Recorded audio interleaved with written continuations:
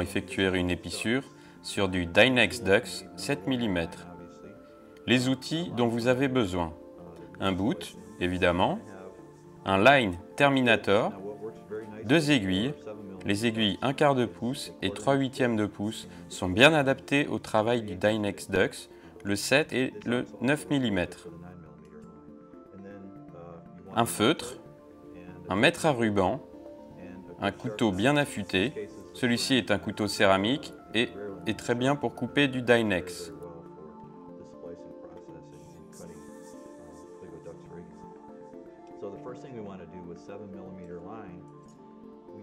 En premier, nous allons mesurer la longueur de la queue de rat, soit 72 fois le diamètre du boot, ce qui, pour du Dynex 7 mm, donne environ 19 pouces. Donc je mesure 19 pouces et je trace une marque à ce point.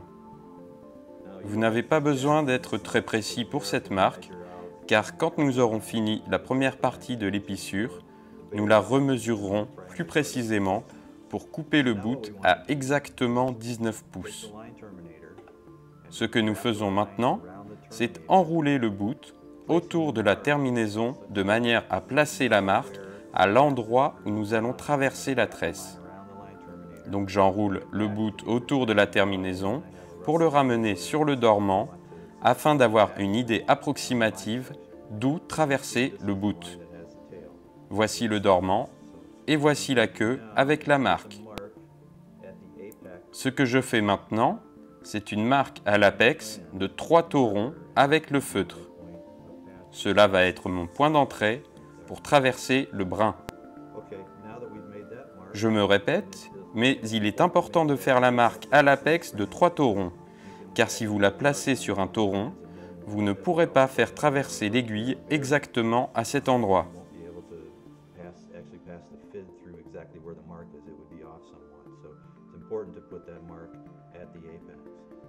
Une fois que la marque est faite, vous enlevez le line terminator et vous donnez du mou à la tresse au niveau de la marque, de cette manière. Puis, vous traversez le brin avec l'aiguille fine sur la marque. Vous devez vérifier que vous avez bien 6 taurons de chaque côté.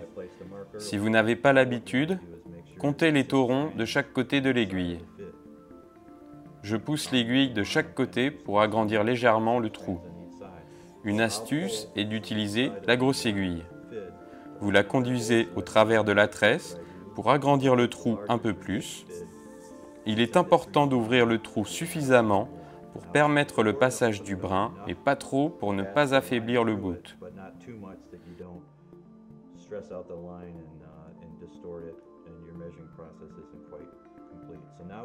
Puis, vous passez le brin dans l'ouverture. Remarquez comme j'ai coupé l'extrémité en biseau pour faciliter son passage.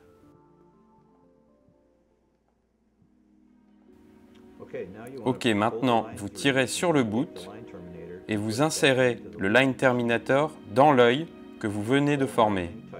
N'hésitez pas à serrer. Je pousse sur l'autre brin et tire sur le premier. Avec le feutre, faites une marque d'un quart de pouce après le point de passage.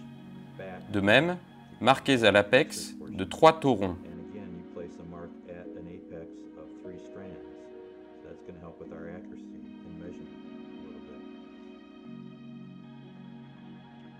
Maintenant que nous avons fait la marque, vous enlevez le line terminator de l'œil. Tirez un peu le brin marqué et à nouveau, vous donnez du mou à la tresse au niveau de la marque pour faciliter l'insertion de l'aiguille, comme la fois précédente. Vous prenez l'aiguille fine et l'insérez au niveau de la marque au travers du dux et ensuite vous agrandissez le trou avec l'aiguille. Cette partie du bout est le brin que nous allons inverser et nous avons besoin d'un trou suffisamment important pour pouvoir passer l'extrémité au travers.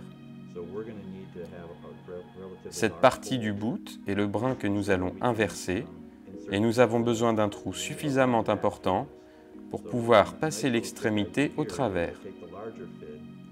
L'astuce que j'utilise est d'introduire en premier la grosse aiguille, d'agrandir le trou avec en la déplaçant d'avant en arrière, puis j'insère l'aiguille fine dans le sens opposé et je tords. Cela prend un peu de temps, mais il faut vraiment ouvrir le trou au maximum en étirant la tresse avec les deux aiguilles.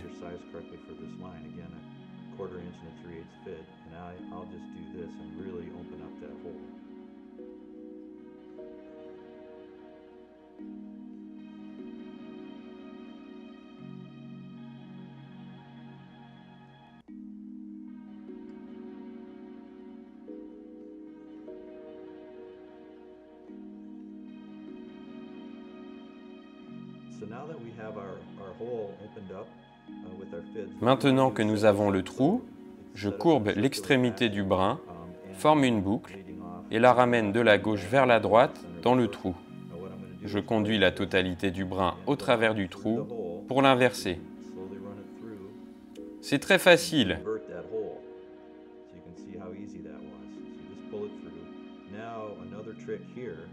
Un autre truc consiste à reprendre les deux aiguilles et à les insérer à nouveau dans le trou. D'abord la grosse aiguille, puis la fine dans le sens opposé, pour réagrandir le trou de la même manière que précédemment. Mais maintenant, le trou est inversé. Vous allez comprendre pourquoi j'ai besoin d'un trou aussi gros dans un instant. J'enlève les deux aiguilles. Vous remarquez que j'ai encore ma boucle. Je referme légèrement l'œil pour former une pointe et je le conduis au travers du trou que je viens de faire. Faites bien attention au sens, car si vous vous trompez, vous réaliserez une double inversion et cela ne rendra pas l'épissure plus solide. Je fais passer la totalité de l'œil au travers du trou et l'épissure est en place.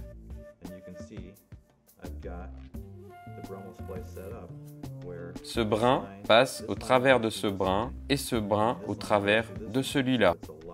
C'est la partie bloquante de l'épissure qui la verrouille et l'empêche de se défaire.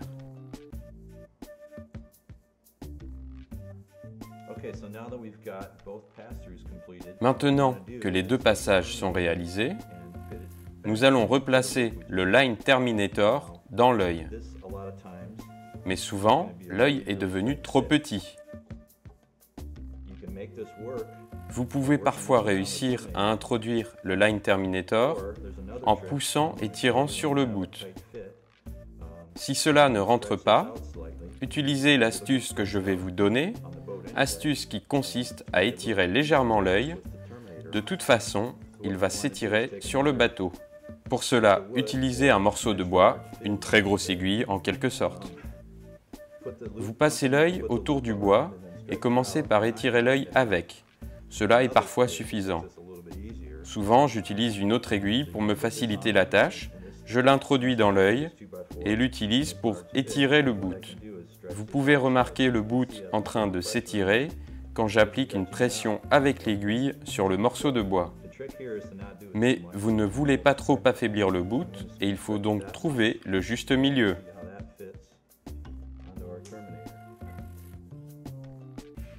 Je reforme l'œil et maintenant la terminaison glisse facilement à l'intérieur et c'est fini.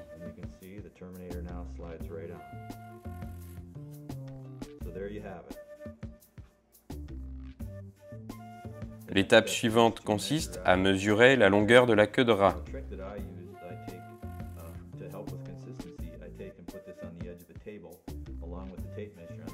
Je cale le bout avec le mètre sur le bord d'une table J'étire le boot et je fais une marque pour du 7 mm à 19 pouces, à l'endroit où nous allons couper le boot.